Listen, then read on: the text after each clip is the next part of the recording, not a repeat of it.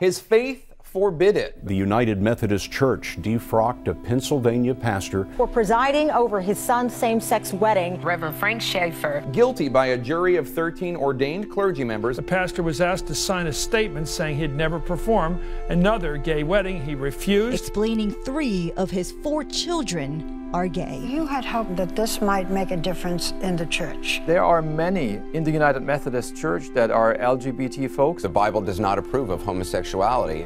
Incompatible with Christian teaching. We are talking about people that were created in the image of God. Do you believe it was worth it? I do. This is getting the conversation started. This is only the beginning. I will not give up the fight. What happens now? Will you continue to speak out? Will you continue to minister?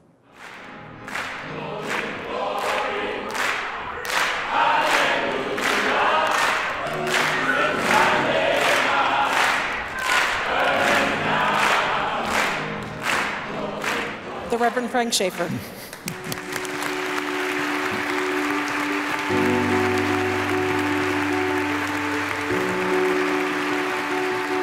It is such an honor to be here this morning. My calendar is pretty full. For the FRAC ministers, I have an awful lot of preaching to do.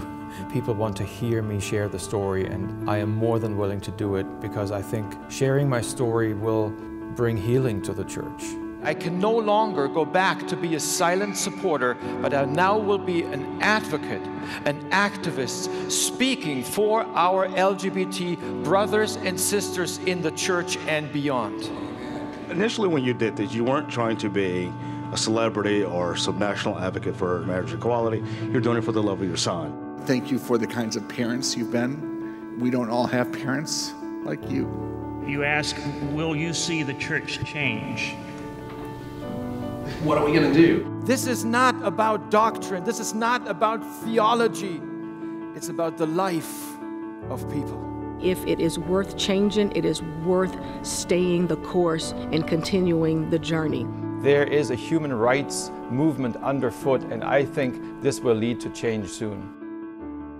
You know, one thing I realized throughout this trial and in the aftermath of the trial is how our family's story has connected with people all across the spectrum. Thank you so much for your witness. Oh. Keep doing what you're doing. You inspire me every day. We're backing you a thousand percent. And I'm grateful for visionary people who see this also as an opportunity to help keep the dialogue going. My father was a Methodist minister, and so when I heard Pastor Frank's story, I connected with it in such a deep way that I knew I had to make a film about it.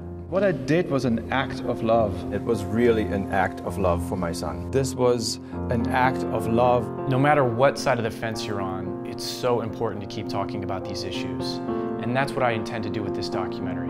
But we need your help.